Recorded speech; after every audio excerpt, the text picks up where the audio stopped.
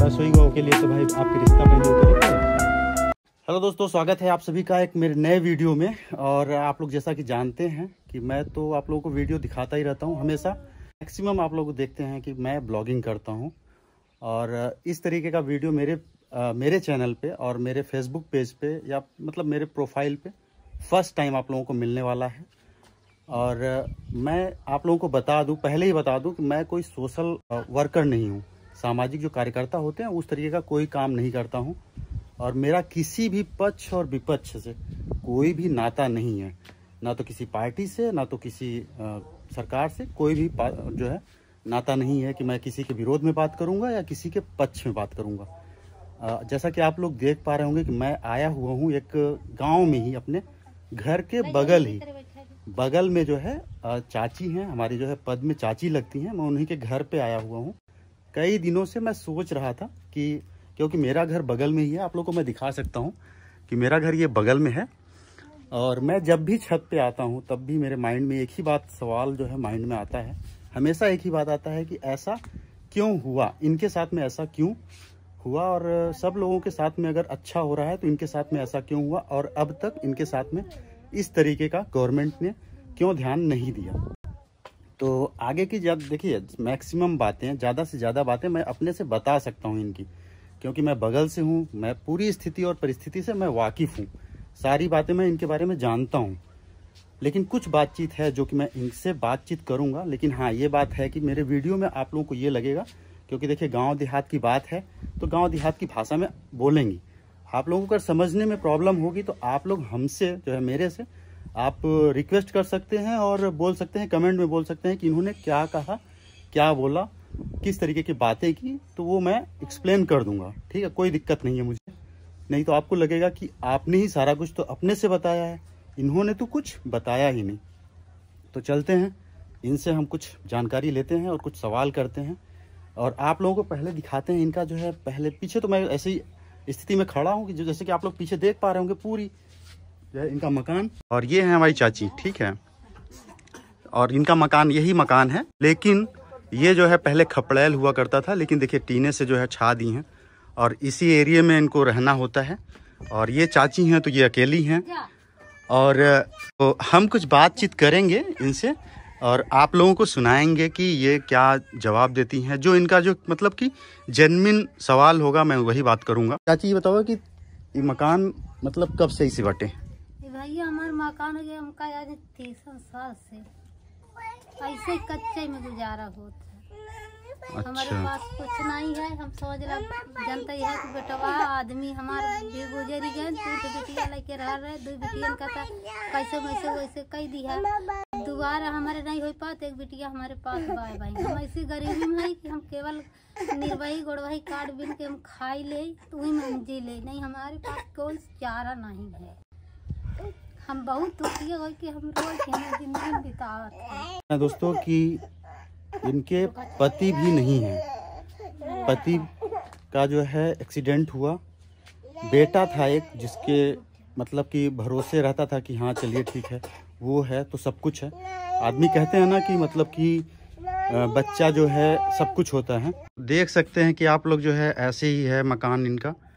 अच्छा चाची, बताओ कि चाचा के कैसे मतलब कि कब कई साल हुआ गुजरे? चौथा साल चलता अच्छा लड़का के?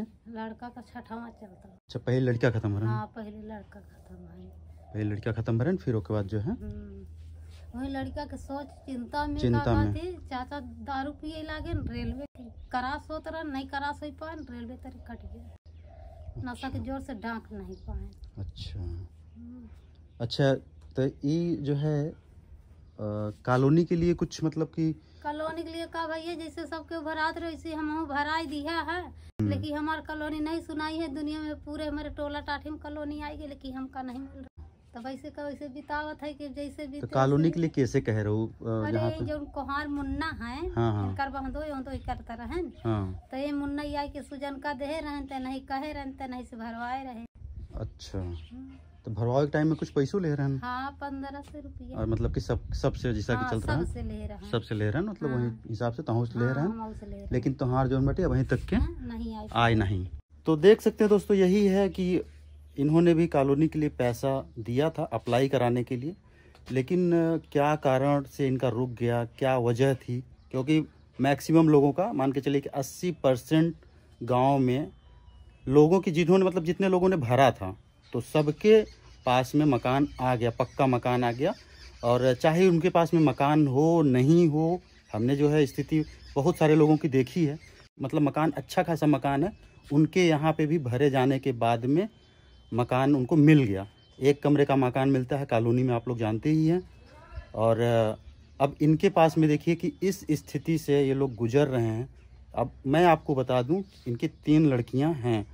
तीन लड़कियों में दो लड़कियों की इन्होंने शादी कर दी है, एक छोटी लड़की है, वो इनके साथ में रहती है, बड़ी लड़की भी अभी आई हुई है, बड़ी लड़की है, बड़ी लड़की अभी यहाँ से गई हैं, क्योंकि गर्मी देख सकते हैं, यहाँ पे ना तो बैठने के लिए जगह है, और जैसे ही धूप हो जाती है, देख देख रहे होंगे कि मैं अभी पाँच से सात मिनट हुआ, और मेरी ये हालत हो गई तो यहाँ पे बैठने की जगह कहाँ हो सकती है? और टीन के मकान में आप कितनी देर तक रह सकते हो?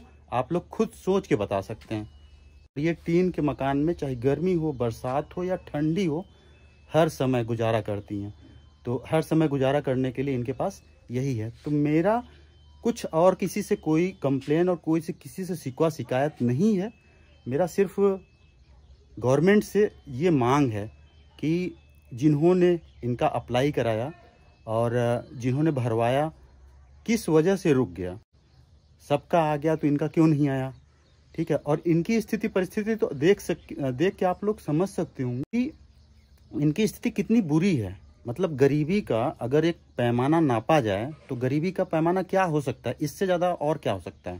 कि इससे भी ज़्यादा कोई ऐसा, इससे भी ज़्यादा कोई गरीब हो सकता है कि जिसके पति नहीं है, बेटा था, जवान बेटा था, करीब मेरे हिसाब से क्या उम्र थी जी अच्छा बेटे की उम्र क्या थी? बेटे की उम्र बीस साल की हो गए तब खत्म। तो बेटी है यहाँ पे तो बेटी के जो है, बेटी का फ़ोन है। अपना जो है, फ़ोन आया हुआ है। यही समझ लीजिए और 20 साल का बेटा था। 20 साल के बेटे का एक्सीडेंट हुआ। एक्सीडेंट में वो ख़त्म हुआ। बहुत सारे लोगों ने आश्वासन दिया कि क्लेम मिल जाएगा, पैसा मिल जाएगा।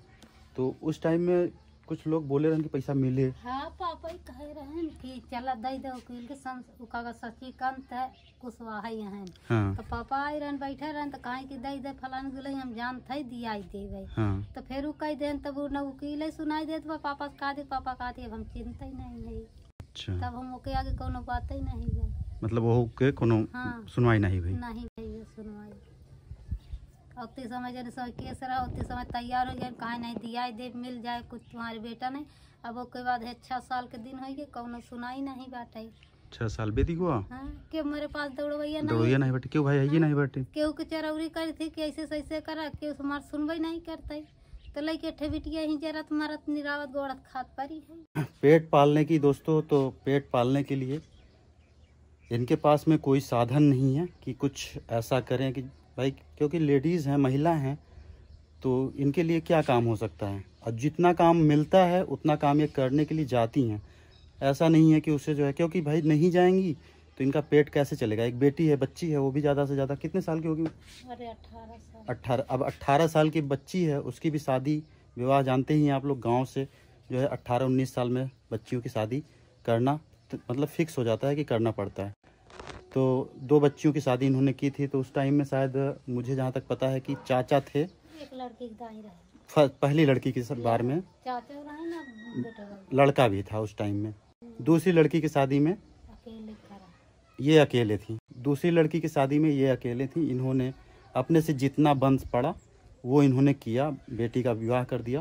लेकिन अभी छोटी लड़की भी इनके मतलब ज़िम्मेदारी पे है यहाँ पे। तो मैं तो गवर्नमेंट से, भाई सेंट्रल से और स्टेट से, दोनों से मैं यही रिक्वेस्ट कर रहा हूँ हम्बल रिक्वेस्ट है, अपना जो है गुजारिश है कि इनका जल्द से जल्द जो है रहने के लिए, कम से कम रहने के लिए जब व्यवस्था सबको दिया जा रहा है, कोई ऐसा नहीं है कि इन्हीं के लिए मैं मांग कर रहा हूँ, सबको दिया जा रहा है तो इनको क्यों नहीं? बस और कुछ मांग नहीं है, अगर रहने के लिए सबको दिया जा रहा है तो इन्हें क्यों नहीं मिला? और इन्हें क्यों नहीं मिला? और मिला नहीं तो कारण क्या है और कौन बिचवई किया ऐसा कि जिसकी वजह से नहीं आ पाया अभी तक? तो और तो बातचीत तो देखिए आप लोग को मैं दिखा देता हूँ कि इनका सिचुएशन कैसा है, क्योंकि देखिए मैं यहाँ से आया हूँ और इनका मकान जो है, ऐसे ही मकान है, कच्चा मकान है इधर साइड में। मतलब कच्चा जो है दीवार है। और यहाँ पे नहाने धोने के लिए अपना बना दिया है, क्योंकि रास्ते में ही है। और इधर में जो है अब इतना बड़ा मकान है इस मकान में अंदर में अब आप लोगों को दिखाने के लिए मैं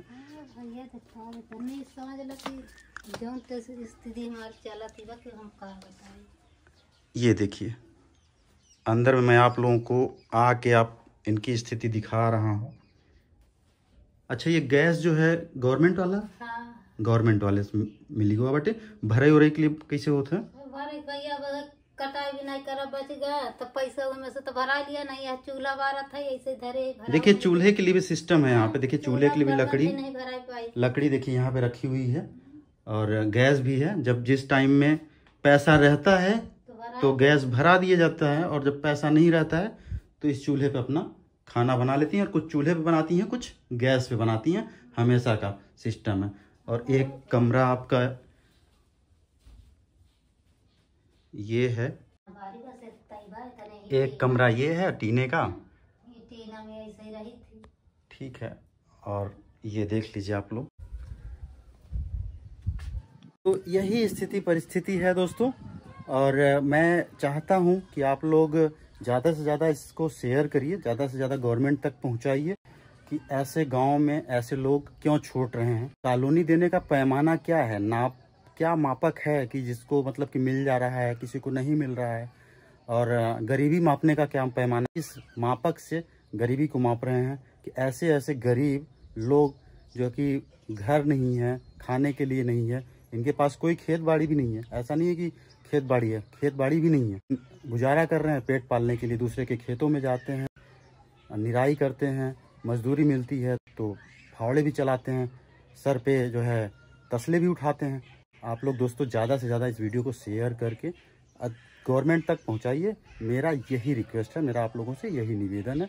और जो भी कुछ अगर आप लोगों को गलत लगा हो, जो भी कुछ आप लोगों को गलत लगा हो, अगर लगे कि हाँ कुछ ऐसा झूठा है, कुछ भी है तो इसके आगे की भी वीडियो और इसकी और भी जानकारी मैं आप लोगों तक दे सकता हूँ, कोई दिक्कत नहीं है, क्योंकि मैं आपको, मैंने पहले बता दिया। मेरा घर जो है बगल में ही है। कुछ दिनों से मान लीजिए कि अभी कुछ दिनों से मैं बिहार में रहने लगा हूँ।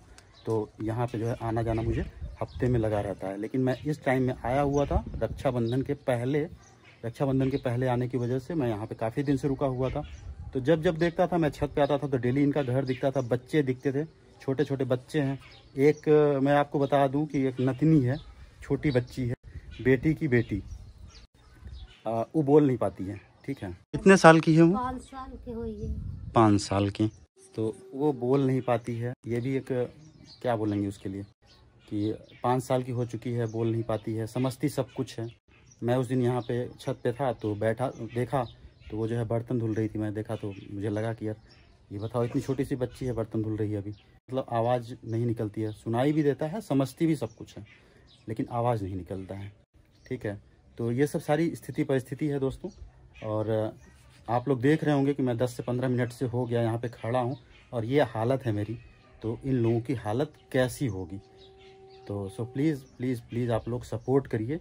इन्हें सपोर्ट करिए, इनकी परिस्थिति को आप लोग शेयर करिए और गवर्नमेंट तक पहुंचाइए कि इन्हें जो है जल्द से जल्द, मेरा यही रिक्वेस्ट है कि जल्द से जल्द मकान और इनके खाने कमाने का कम से कम कोई ज़रिया मिल जाए। दोस्तों तो फ़िलहाल हम चलते हैं और आप लोगों से अगर, आप लोगों का कोई भी सवाल होगा, कुछ भी अगर दिक्कत या कुछ भी आप लोगों के समझ में कोई भी बात होगी कि कुछ भी गलत आप लोगों को लगा होगा तो आप लोग कमेंट करके और सवाल करके आप लोग मुझसे जो है जान सकते हैं इनके बारे में।